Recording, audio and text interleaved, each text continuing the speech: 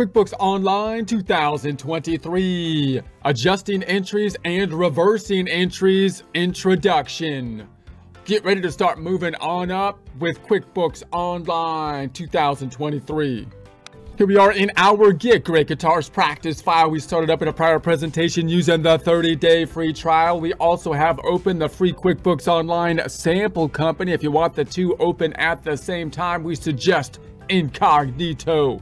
Support accounting instruction by clicking the link below, giving you a free month membership to all of the content on our website, broken out by category, further broken out by course. Each course then organized in a logical, reasonable fashion, making it much more easy to find what you need than can be done on a YouTube page. We also include added resources such as Excel practice problems, PDF files, and more like QuickBooks backup files when applicable. So once again, click the link below for a free month membership to our website and all the content on it.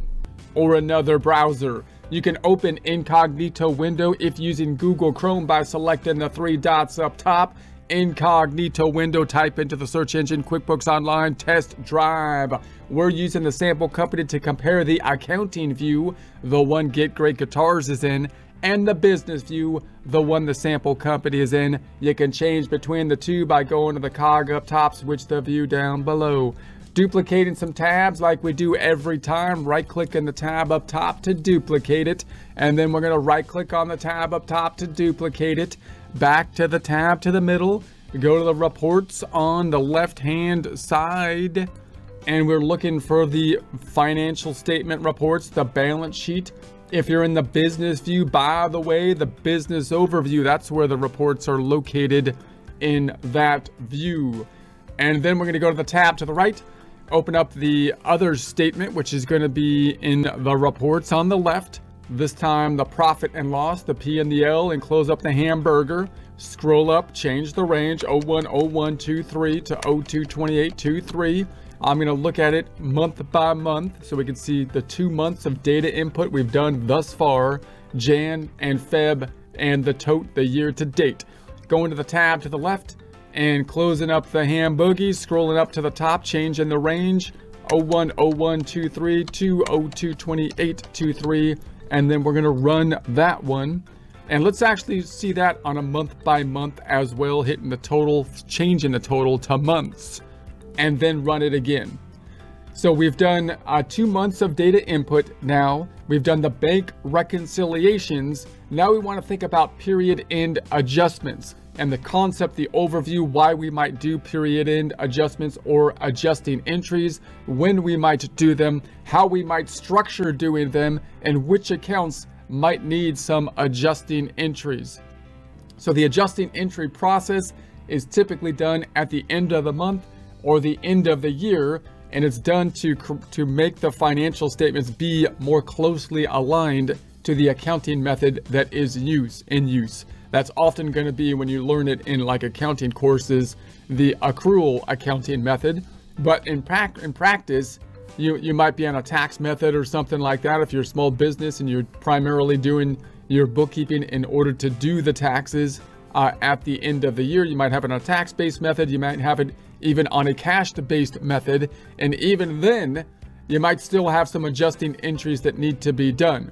Now note adjusting entries, if you learn it in a, in a book scenario, in a classroom, you're often going to hear them uh, being applied at the end of a month, for example, each month. But in practice, for small businesses, you might do the adjusting entries on a yearly basis so that you get your financial statements lined up as best you can for the use that you might have for them, which is going to be the taxes in the United States. So that's going to be the general idea. So what we, what we would like to do is think of a delineation in our mind between the bookkeeping or accounting process and the adjusting process that's going to be done at the end of the period. They might be done by the same person, but it's useful to keep those two things separate and oftentimes they're done by different departments or different people altogether, such as the bookkeeping or yourself or the accounting department versus the CPA, for example, or tax preparer that's going to be doing adjusting entries possibly at the end of the year. The adjusting entries are the things that we have been doing to construct the financial statements and those are primarily with the forms. We go to the forms, we have the cycles that are in place, we're entering the financial transactions with these forms that are entering the double entry accounting system and constructing, building the financial statements. Our goal from the bookkeeping or accounting side of things is to try to make this system as as easy as possible. And if we can automate the system as much as possible we can automate the system to make it as easy as possible and also be able to communicate with the people we're doing business with well customers vendors and uh, employees. That's the general idea so that the business goal in and of itself the overarching goal for the business of revenue generation can then focus on what they do to generate revenue and not so much on, on the accounting and bookkeeping process. And then, of course, the goal for the end of the period for the adjusting entries is to take what we have and adjust it to be more perfectly aligned to the accounting method that is being used. Now let's focus on some of the differences between the adjusting entries and the normal day-to-day -day input entries.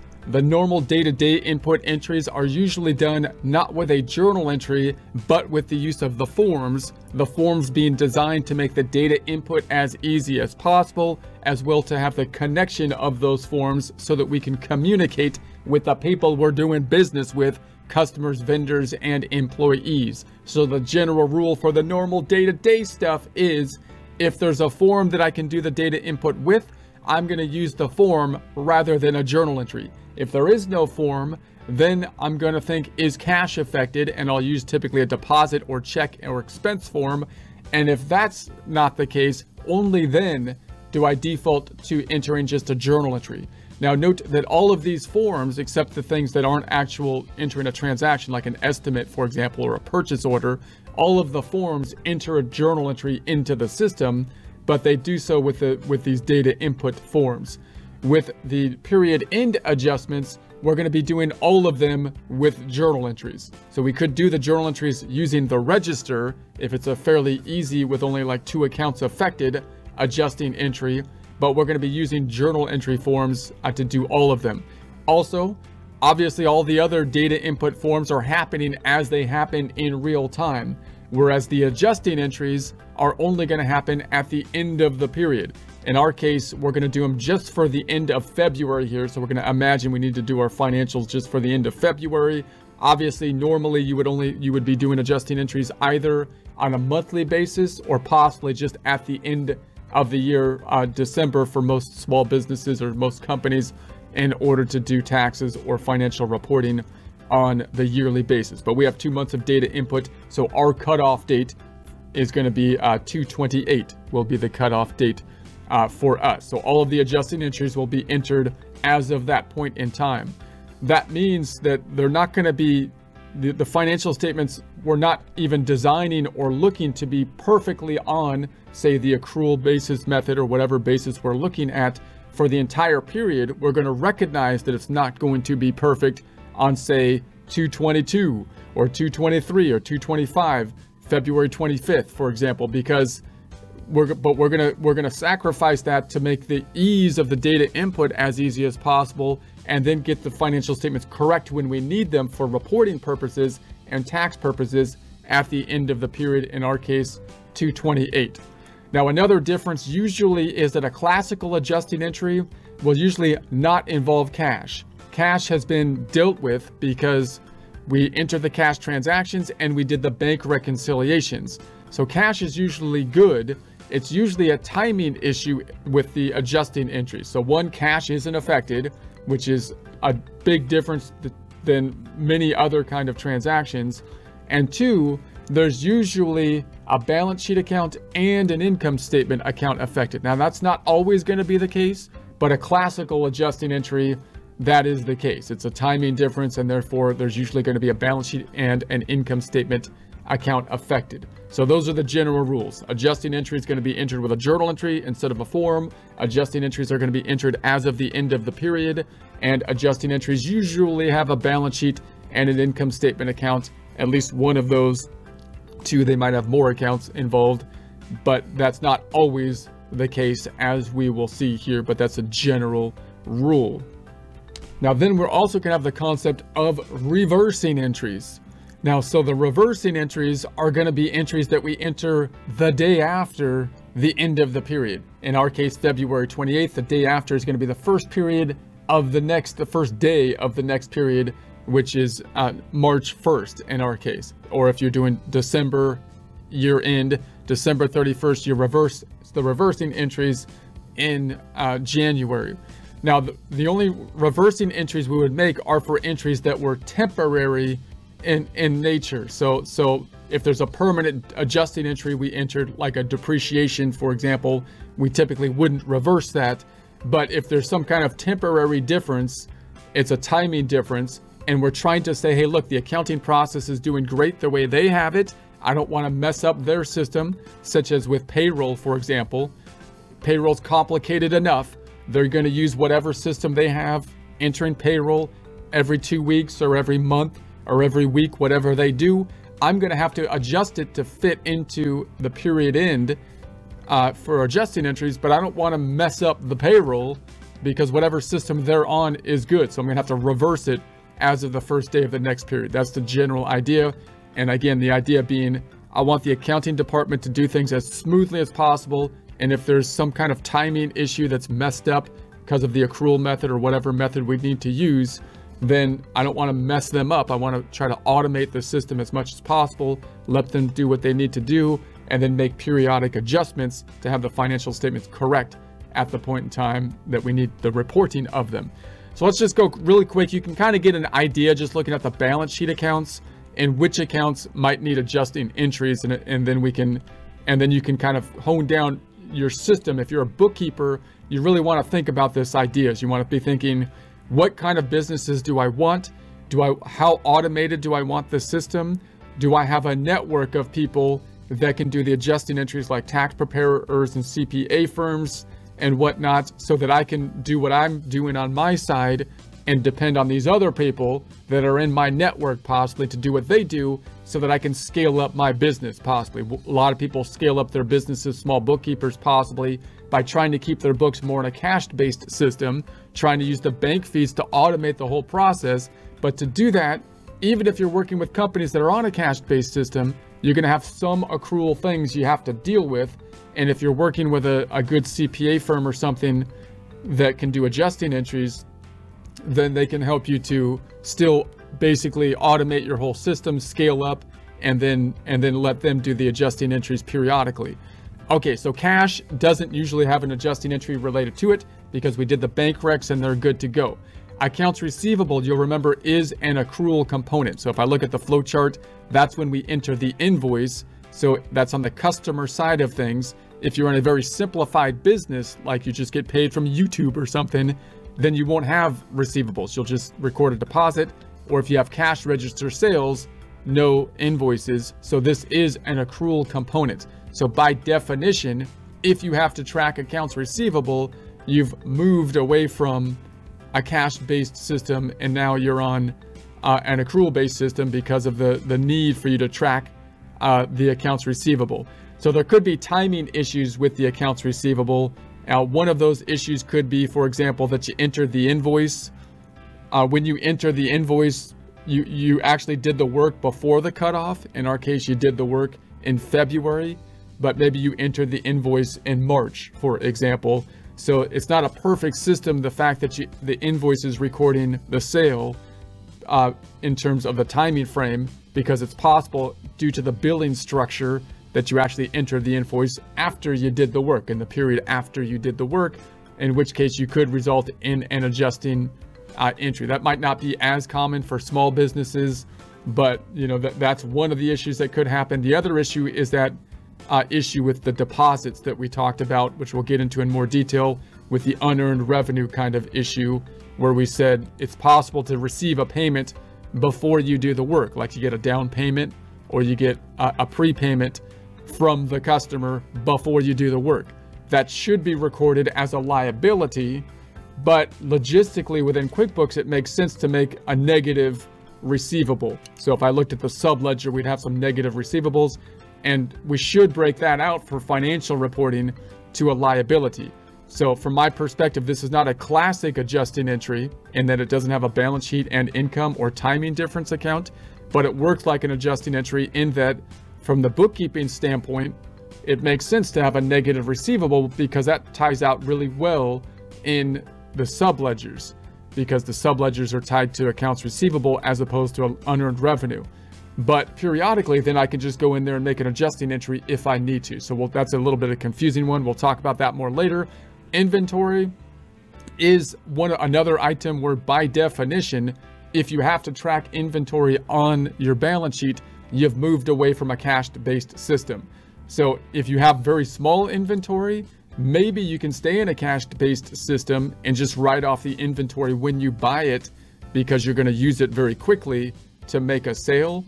But if you have to put the inventory on the books as an asset, once again, we've moved away from, from a cash-based system to an accrual-based system. So we'll have to do like physical counts on the inventory and, uh, and record the inventory properly. So there's not often like a, an adjusting entry that really needs to happen there other than you want to, of course, do a physical count at the end of the period and see if your inventory is actually accurate uh, there.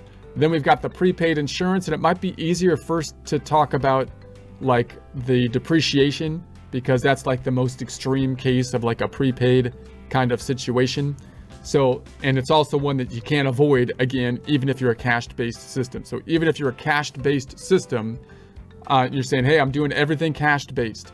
Well, the tax code is still going to force you with large purchases like equipment, buildings, even if you paid cash, you can't just write them off as an expense. And you can see why that would be. If you had a $100,000 building expense down here, and then you tried to compare January to February, it would be like if you bought the building in January, you would have this massive loss in January compared to February, which isn't actually accurate in terms of a performance because you bought the building and you're going to use it for 30 years into the future. So there's you don't have the comparability and it's so extreme, it's so obvious that that's a problem with comparability with property, plants, and equipment that even if you're on a cash-based system where you're kind of forced, people just recognize that, oh yeah, I got to put that on as an asset. Well, why? Because you're doing an accrual thing. You're putting it on the books as an asset as, as opposed to expensing it when you purchased it because it's such an extreme example of the situation. And the tax code is going to force you to do that as well. So uh, no, notice that the furniture and equipment uh, shouldn't have too many transactions related to it. So whenever you make purchases, then you can give that, usually the subledger is going to be done by your tax professional. So you're usually going to have to be dependent on the tax professional to give you the depreciation schedules, which they can do either on a book basis or a tax basis. And then we're going to have to record the adjusting entry of accumulated depreciation. That's when we allocate the expense to the time period we actually used it, or that's what we're trying to do, although it's just an estimate, which is why we, we don't actually write down the furniture and fixture or fixed asset account, but use another account called accumulated depreciation. It's a contra asset account. So we'll dive into that in more detail later, but everybody kind of has to deal with that accrual thing even though even if you're on a cash-based system and you're a small business and you're just trying to do things for taxes or something like that. The same concept is here for any kind of prepayment and insurance is the biggest is the most common example because insurance by definition is something you paid for before you did they they gave you anything, right? You didn't get the coverage. You can't get the coverage and then pay for the insurance. You have to pay for the insurance before giving the coverage. Now, if you pay for insurance every month, then if you just expense it monthly, you're pretty close and that's probably not a problem. But if you pay for a whole year's worth of insurance up front, which is often cheaper, and so therefore many people do it, then you're going to have the same issue where you have this big the insurance expense say in January if you paid for it in January versus February and therefore the typical method from an accrual standpoint is like with the furniture and equipment you put it on the books as an asset and then you've got to determine how much of it you have consumed over the life thus far as of the cutoff date and make an adjusting entry this time not making a contra asset account as is done with fixed assets but just writing down the insurance account uh, directly. So, so we'll dive into that in more detail. You could do a prepaid insurance for any kind of expense account if you prepaid it, but there's certain type of expense accounts you're more likely to do that with. Uh, accounts payable is another accrual account. So if you're using the accounts payable, then you're likely uh, going to be on an accrual basis and you could have basically timing differences with when when you entered the bill. It's not as common to have problems with the timing differences on the accounts payable as with uh, the accounts receivable. The Visa account is a credit card account. It's kind of like the, the checking account in that you should hopefully have entered all the data and reconciled it. And so there's not usually going to be any kind of uh, added adjusting entries for the Visa or credit card accounts. Then you've got your, this is the taxes that you have to pay. So you could, you know, make sure that your liability is correct and ties out to your liability statements that are owed for your sales tax. And then your loans. On the loans, uh, notice that these have some some issues that are that you can think about as a bookkeeper how to most easily do the loans. One, you've got multiple loans, so I would put each loan on the books in their own account, possibly as a as a subsidiary account to the parent account instead of having one loan account. But when you do the taxes or when you do financial reporting, you're probably going to report it as just simply loan payable. You also have the short term and long term loan payable situation that you have to deal with, which means you, I wouldn't break that out every time you do a loan payment, but you might have a loan that has a short term and long term component to it. And that's when I would like to work with a CPA and be able to say, or an accountant or a tax preparer to allow me to do that adjusting entry if I was a bookkeeper and say, hey, look, I'm just going to put it in one loan account. You break it out. Here's the amortization schedules. That's your thing, right? My thing on the bookkeeping or accounting side is to make sure that the loan accounts are accurate. And you can even go a step further than that. As a bookkeeper, if you're trying to automate the system, you can say, hey, I'm going to record one loan account per loan and I'm going to make all the payments go directly to that loan account, not breaking out interest uh, according to the amortization schedule because the interest and principal changes each time. And I want to automate my system so that I can enter the data on a cash based system. So I'm just going to record everything to the loan account here. And then I'll give you the loan statement, CPA or an accountant, and you can make the adjusting entries breaking out the proper amount of interest for the year or whatever the time frame is, and then breaking out the short-term and long-term portion. And that way, again, the bookkeeper is trying to be automated, do everything basically with the bank feeds, and, and then have a good CPA or accountant that knows what's going on that can periodically break out the, the stuff and do what they do. Uh, and then you have a, a nice, co- the same thing is with the payroll. If you're doing payroll within the system, then then you're to have to to have to check that all your payroll ties out to the W2s, the W3s, and uh, and and the 941s that matches what's on your uh, payroll here. And you might also need to do an adjusting entry because the payroll period that you have, say you pay people weekly, you might have paid someone, you know, your, your pay period might have might have three days uh, before in February and two days that are outside of February, right? And so the so then you've got this situation where the pay period doesn't line up to the actual uh, to the to the end of the to the end of the of the period, and you might have an adjusting entry basically related to that. So that's one issue that you can have with the payroll. Another issue that you can have with the payroll, again, is you could try to say, hey, look, I'm trying to automate the, my system again and payroll just messes everything up because again it forces you if you run payroll within the system to be outside of a cash based system because now I have to do this accrual thing of the withholdings. But if you hire, you could hire a payroll professional. You could say, hey, look, I'm going to automate my system on a cash based system, try to scale up that way. I'm going to try to get my clients to be using a payroll professional. They run the payroll and they do their whole payroll thing. I just wait till it goes through the bank uh, and I record it as payroll expense. And then I give the payroll reports and uh, and this and my financial information to the CPA or tax preparer at the end of the year, and they properly break out the liabilities versus the expense payroll expense versus tax expense and so on, given that information. So again, that's another way from a bookkeeping standpoint. You, you can think of it a few different ways. Do I want to do payroll within the system?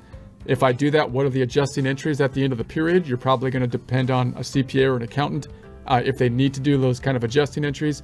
And maybe I want to be in a cash-based system and I try my best to to have a payroll provider so I can scale up on a cash-based system and automate all of the systems working with a payroll provider to do all the all the other stuff with with payroll with the pay stubs and stuff and then give all this stuff the payroll reports and the financials to the bookkeeper at the end of the period to do the adjusting entries and I, I, if that all if you have a good network that could work quite well Okay, so those are the, those are the general adjusting entries that uh, we'll go through, and we'll go through a few of them in more detail one by one in future presentations.